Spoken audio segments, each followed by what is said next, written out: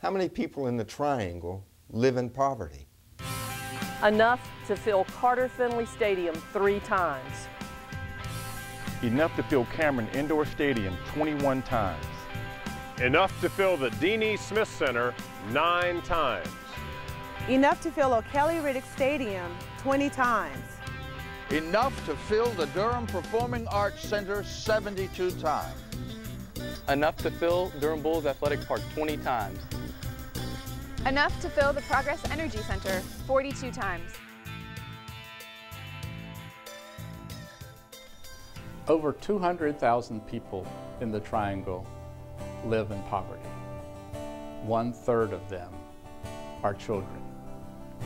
And since the recent recession, even more people are living in or on the edge of poverty, struggling to meet their basic needs. The mission of United Way is to mobilize the power of a caring community, to help those in need, and in doing so, build a stronger community. With your help, we're focusing on financial stability, ensuring the access to affordable permanent housing, and to sustainable employment.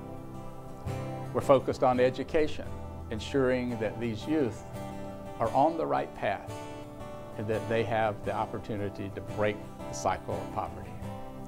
And we're focusing on basic needs of physical and mental health, sufficient healthy food, and access to the health care they need.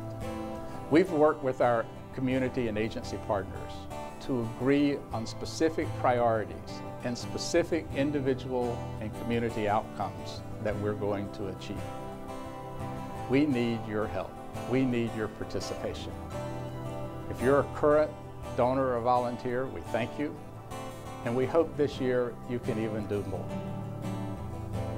If this is your first engagement with United Way, you'll be glad you joined.